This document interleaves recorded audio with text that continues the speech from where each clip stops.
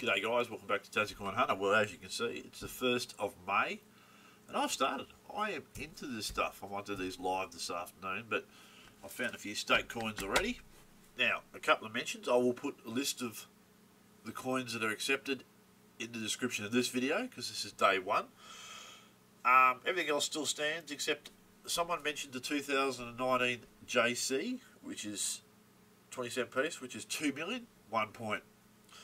Um, I didn't mention, and Simbunji rightly corrected me, lamination errors, peels, 50 points.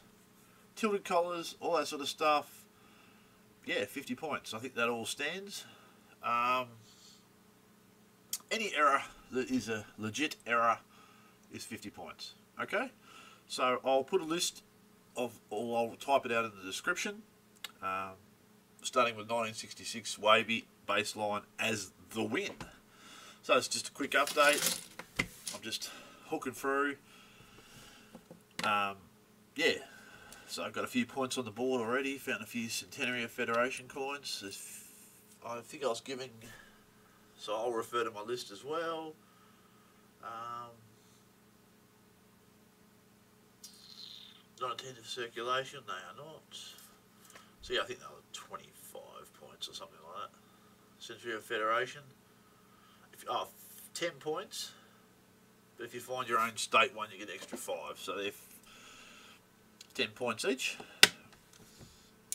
So I'm on the board. 10, 20, 30, 31. One point for those.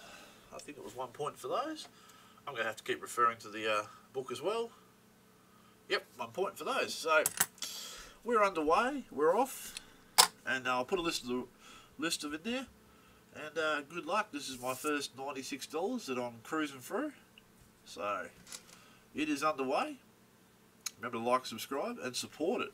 Tassie Coin Hunter out.